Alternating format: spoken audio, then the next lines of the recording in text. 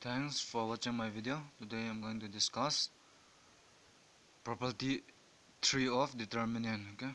And our statement is that property pro properties 3 statement says that if two rows or columns of a determinant are identical mean same okay?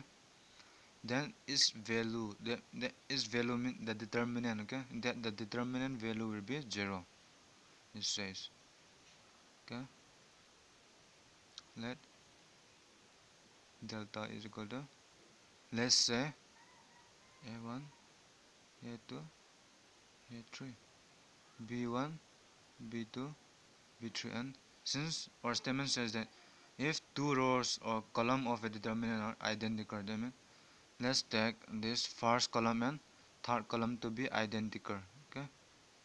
Or let's take this to be identical this is a3 which means first column third column are same thing. And you can take in the row also okay? No harm. And this is our determinant. Now let me take delta 1 be the new determinant okay?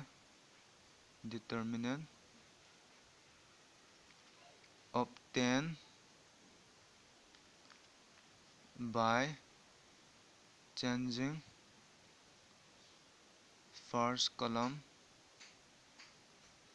and third column. Okay. Let's say delta 1 be the new determinant obtained from this one by interchanging first column and third column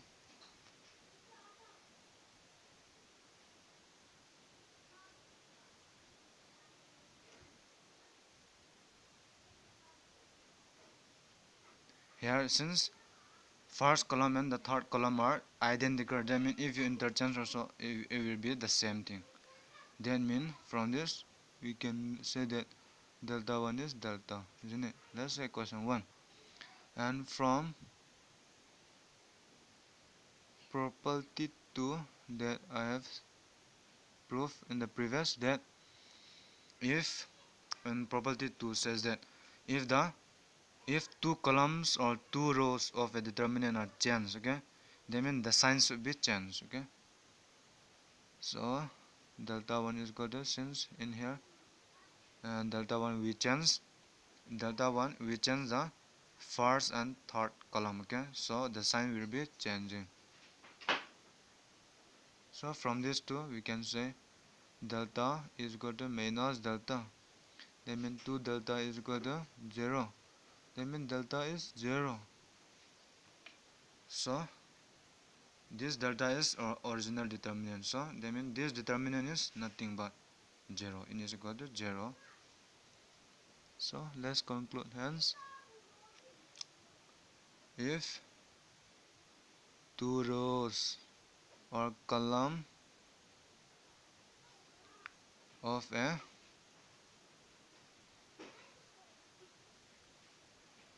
determinant are identical